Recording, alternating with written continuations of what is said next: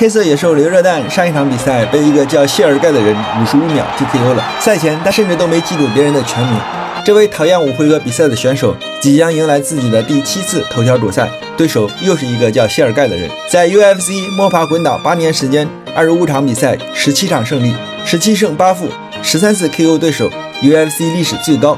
刘热蛋曾经两次争夺冠军金腰带失败，一次败给了丹尼尔·科米尔，一次败给西里盖恩。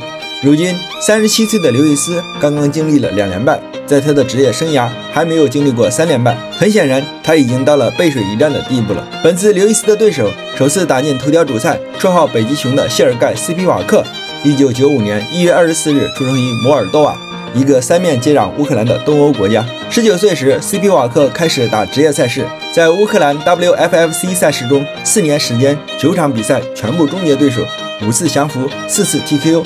来势汹汹，势不可挡。在此期间，他拿到了 WFFC 重量级冠军，并卫冕了两次。不料，进入 UFC 的首秀，五十秒就被对手 TQ 结束比赛。五个月后，斯皮瓦克卷土重来，第二回合降服现在排名第四的泰图瓦萨。此后两年时间，斯皮瓦克拿到了六胜两负。手下败将中包括 UFC 传奇人物红尾马、阿雷克谢·奥莱尼克，也输给过英国希望之星汤姆·阿斯皮纳尔。如今，斯皮瓦克正在寻求自己的三连胜。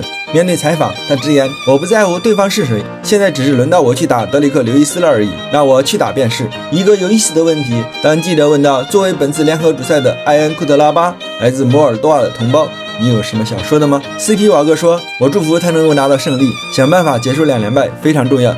但从我个人角度讲，我对此没有太过关心，毕竟跟我没有关系。”